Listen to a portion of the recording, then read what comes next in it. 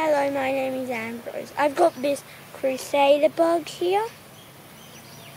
It's also called the holy cross bug. They're native to Australia and it's found throughout Australia. They feed on plants and they prefer to eat new shoots.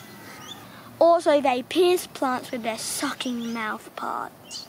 When they're in the country, they're considered pests because they eat crops, but they control non-native pests but giant sensitive trees. The life cycle between egg to adult takes about 38 days, and they live for three months when they get to an adult. And it's a male. The males use their back hind legs to fight over territory or a mate. And they can produce a foul smelling liquid when disturbed to predators. And also, they've got it on me and it really stinks. Their predators are birds, spiders, praying mantises, and also parasitic wasps.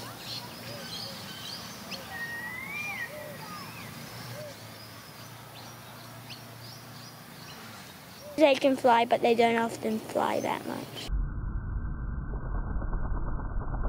I'm gonna let it free now.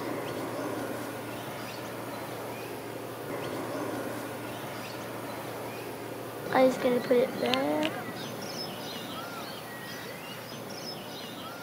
So I better say goodbye so.